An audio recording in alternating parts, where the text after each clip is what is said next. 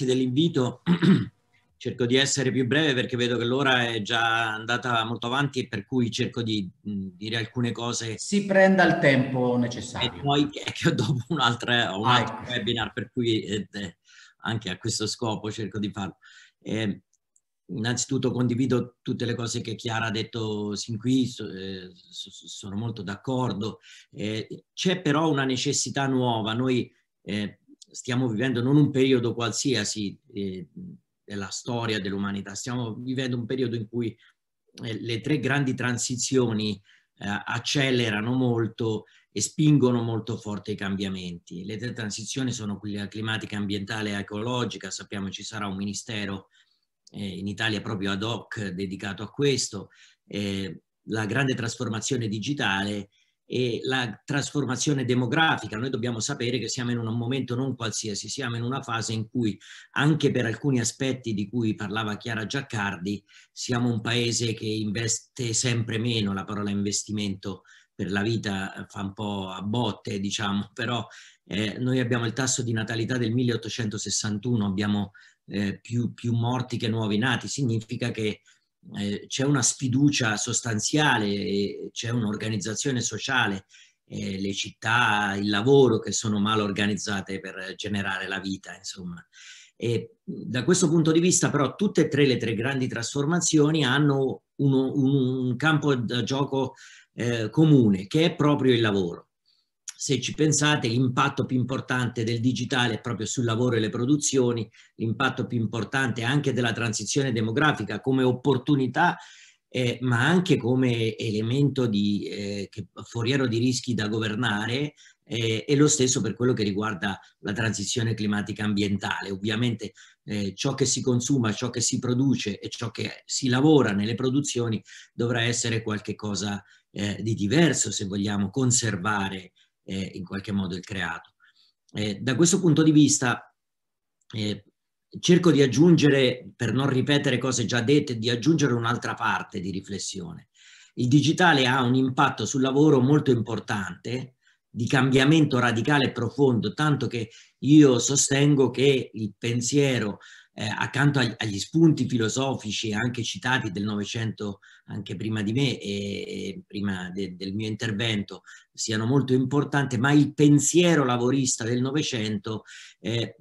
con fatica riesce ancora a descrivere, a interpretare il lavoro che sta nascendo adesso. Eh, le vecchie categorie eh, i vecchi paradigmi di descrizione eh, delle produzioni e del lavoro sono sempre più inefficaci e spesso quando sono confortevoli per chi le utilizza rischiano di essere dannose, cioè rischiano di non farci capire qual è veramente il lavoro che sta nascendo. Il World Economic Forum dice, ha un dato che sta cambiando tra l'altro molto, eh, molto velocemente e sta crescendo, e cioè dice il 65% dei bambini che oggi frequentano le scuole elementari faranno un lavoro di cui oggi non conosciamo neanche il nome. Questo significa una cosa molto importante, che il cambiamento che c'è sempre stato è un cambiamento molto più profondo e molto più rapido. L'energia elettrica si diffuse nella parte più ricca del pianeta, eh, impiegò 40 anni. Oggi una nuova tecnologia abilitante si diffonde anche in zone del Centrafrica, penso all'intelligenza artificiale, penso alle telecomunicazioni dalle 4G in su eh, in poche settimane. Ecco, questa che si chiama tasso di sostituzione tecnologica eh, ovviamente porta a una riflessione molto interessante che eh, con, con, la sua tradizionale forza eh, Papa Francesco ha indicato, detto attenzione che il progresso non deve arrivare a, a portare ad avere con sé, a recare delle connotazioni negative. E se il progresso lascia degli scarti, appunto degli scarti, in questo caso di persone che non riescono a essere agganciate a questa innovazione, anche il progresso stesso verrà visto con appunto connotazioni negative. Questo è un problema molto, molto serio. Da questo punto di vista l'umanità ha due eh, fa fattori fondamentali su cui giocare la partita. Innanzitutto io sono contrario con chi dice ma la tecnologia arriva e disumanizza il lavoro e distrugge e fa finire il lavoro. Non è vero, la tecnologia di per sé non è oggettiva. la finalità di tu, qualsiasi algoritmo, di qualsiasi device tecnologico, la assegna un essere umano, un'azienda, una persona, un progettista, e per cui i valori eh, di qualsiasi tecnologia sono gli uomini a, definirli. Allora, da questo punto di vista, soprattutto e anche per i credenti, c'è una sfida in più. C'è una sfida per cui non mettersi in un aventino in cui aspettare e giudicare lo sfruttamento che arriverà, ma far parte, e per questo è stato, anch'io penso, straordinario e fondamentale riniziare a declinare un nuovo pensiero del lavoro post-novecentesco a partire dalle settimane sociali eh, culminate a Cagliari. Parlare di lavoro libero, eh, creativo, eh, partecipativo e solidale è guardare in qualche modo a una dimensione realizzativa del lavoro e paradossalmente se ci pensiamo la tecnologia può essere un grande alleato. La tecnologia può essere, noi una volta ragionavamo come obiettivi sindacali quello di riduzione della fatica. Non parlo della fatica in generale come Chiara Giaccardi giustamente ricordava, parlo della fatica fisica. Oggi i robot cooperativi cancellano le mansioni ripetitive, cancellano le mansioni faticose, parlo delle fabbriche avanzate ovviamente, e tanto è vero che queste grandi aziende iniziano a mettere nei, nelle cose da eliminare la fatica. Cioè un obiettivo aziendale è diventata appunto la fabbrica zero fatica, perché si considera la fatica qualcosa di inutile con la tecnologia oggi disponibile. E detto questo, però, il lavoro che ne può scaturire può essere un lavoro alienante lo stesso, a meno che chi progetta, questi io li chiamo gli workitect, i nuovi architetti del lavoro, non valorizzino la parte, diciamo, l'aspetto più incontendibile degli esseri umani con le macchine e gli algoritmi, che è proprio l'umanità. E questo pone tutti quanti noi di fronte a una grande riflessione perché è qualcosa su cui non abbiamo più ragionato, abbiamo accettato anche per limiti eh, di pensiero e limiti eh, tecnologici abbiamo accettato che gli esseri eh, umani facessero lavori in cui l'umanità entra in gioco molto poco. Se noi andiamo a vedere oggi eh, qual è il lavoro che sparisce, il lavoro che sparisce è il lavoro ripetitivo, in particolare il lavoro ripetitivo impiegatizio e in seconda battuta il lavoro ripetitivo operaio in tutti e due i lavori, il lavoro che si espande appunto è quello in cui eh, eh, la messa in gioco dell'umanità eh, protegge di più il lavoro. E eh, questo perché aumenta la richiesta, si chiama tecnicamente di ingaggio cognitivo, cioè di contributo della persona, non solo delle sue braccia, delle sue gambe, dei suoi polmoni, eccetera, ma il contributo della persona nelle sue capacità progettuali, nella risoluzione dei problemi, nel prevedere quelli che possono essere difficoltà, eh, nel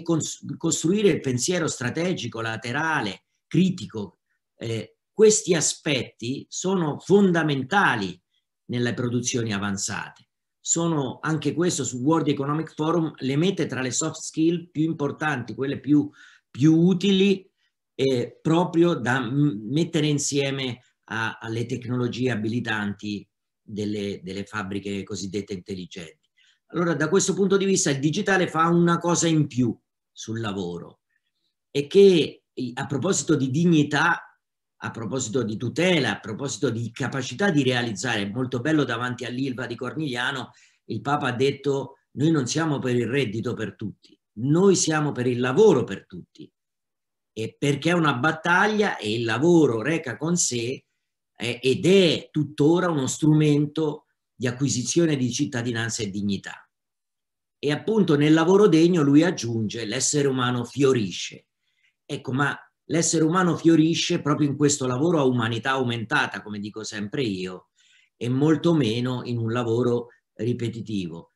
Stavo dicendo il digitale, lo abbiamo visto nello smart working e mi avvio alla conclusione. Il digitale cosa fa? Scongela due variabili fisse, rigide del lavoro e sono lo spazio di lavoro, cioè il luogo. Vedete, si può, ci sono sempre più lavori che si possono fare più o meno ovunque e scongela anche la risorsa tempo, gli orari. Pensate 8 ore al giorno, 40 alla settimana, 1760 all'anno, che sono state una conquista perché una volta non c'era limite orario giornaliero, non c'era limite orario settimanale, non c'era limite d'orario e per cui era tutto orario di lavoro eh, eh, che il datore di lavoro eh, assegnava arbitrariamente, non esisteva un limite di età per poter iniziare a lavorare, dico il limite verso il basso, per cui il lavoro minorile era ampiamente diffuso. E invece con lo smart working, ma sempre più con il lavoro, si scongela lo spazio, lo spazio si potrà remotizzare sempre di più quantità di lavoro non solo impiegatizio. Io ho pubblicato questo articolo di questa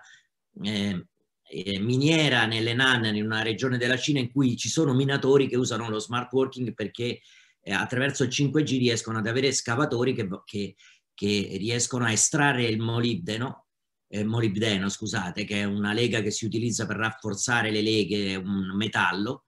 e utilizzano delle console e dei joystick, ma sono sempre di più i lavori che potranno essere remotizzati. Attenzione perché un lavoro remotizzato di per sé non è un lavoro automaticamente tutelato.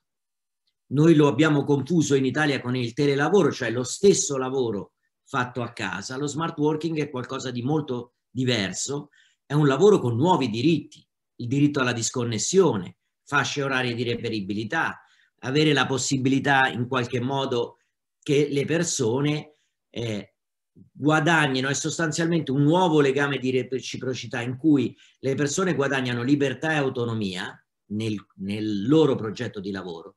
In cambio, però, lo scambio viene molto meno come parola eh, eh, azzeccata in questo caso, con una maggiore responsabilità rispetto agli obiettivi e una costruzione di un rapporto fiduciario tra chi costruisce il progetto e chi, lo, chi individua gli obiettivi del progetto e chi lo realizza, cioè la lavoratrice e il lavoratore materialmente.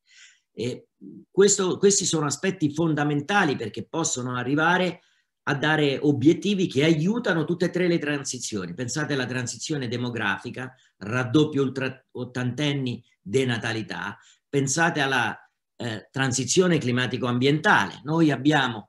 eh, un pendolarismo nel mondo assolutamente inutile è chiaro che ci sono lavori in cui bisogna essere assolutamente in presenza, ma ci sono sempre più lavori, proprio il presidente incaricato Draghi a Rimini diceva in, negli Stati Uniti hanno calcolato dopo il primo lockdown che il 20% non tornerà più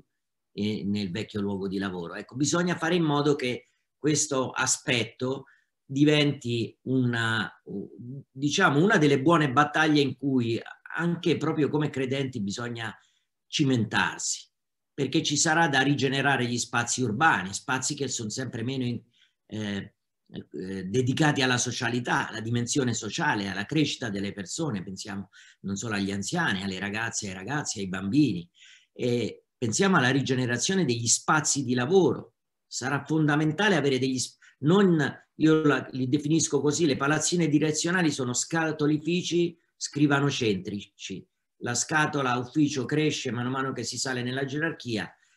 e invece bisognerà liberare dello spazio per i momenti in cui si rientra in azienda per stringere i bulloni delle relazioni sociali, del lavoro di gruppo, delle condivisioni di strategie. E per un'ultima cosa, ha scritto delle cose molto belle il professor Luigino Bruni su questo, per inserire le tematiche fondamentali della cura della persona, perché bisogna ritornare alla, a considerare un'impresa, un'azienda, un ufficio pubblico come una comunità e fare in modo che ci siano sia i tempi dell'efficienza e, e eh, sintonizzati con i tempi che necessariamente devono essere più lenti, e cioè i tempi della cura. Ecco, credo che queste possano essere frontiere molto importanti verso cui lavorare e su questo noi possiamo fare tantissimo perché eh, c'è una battaglia allo stesso tempo che tiene insieme la fascia più alta di innovazione, per cui un lavoro che ha grandi possibilità di migliorare la qualità del lavoro stesso, e però un terziario che produce sempre più lavoro povero. Ecco, da questo punto di vista bisogna imparare a costruire nuove tutele per quel lavoro che spesso esce fuori dal monitor delle tutele sindacali, dalle tutele legali, dagli uffici, dagli ispettorati al lavoro e per questo bisognerà tenere insieme questi due aspetti perché dobbiamo poter concepire un solo tipo di lavoro che è esattamente quello che Papa Francesco ci ha ricordato appunto in Evangeli Gaudium, eh, ma anche in Laudato Si, questa idea nuova appunto eh, di lavoro che sicuramente abbandona delle concezioni del passato che rischiano di portarci troppo spesso fuori strada.